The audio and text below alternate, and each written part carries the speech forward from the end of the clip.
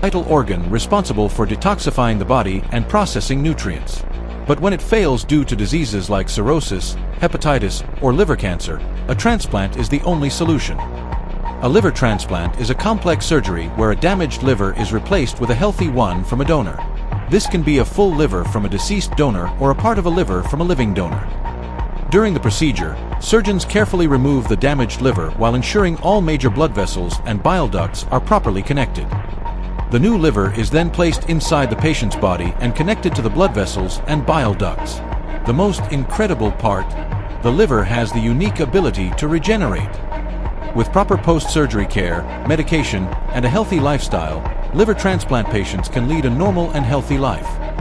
One organ donor can save multiple lives. Consider organ donation and be a lifesaver. If you found this video helpful, hit like, share, and follow for more amazing